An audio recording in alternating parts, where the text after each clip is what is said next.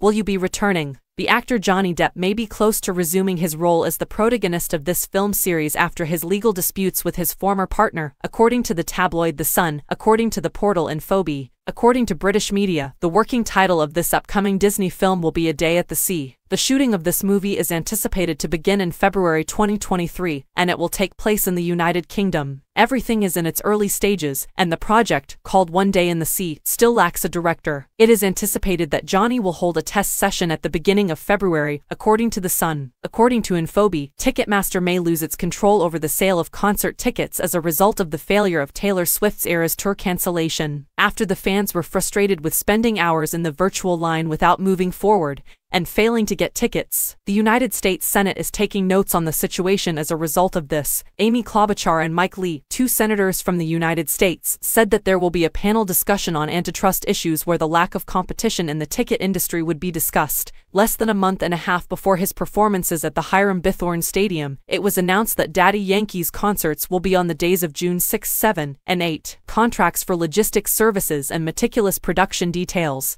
The reasons for taking action and postponing the performances that would have marked the popular artist's retirement were revealed by Pina Records, according to El Nuevo Día Puerto Rico. Additionally, the production announced that a ticket refund process would begin for those who had purchased tickets for these dates. The tickets will be refunded by Ticketera in the upcoming days because the new dates have not yet been finalized.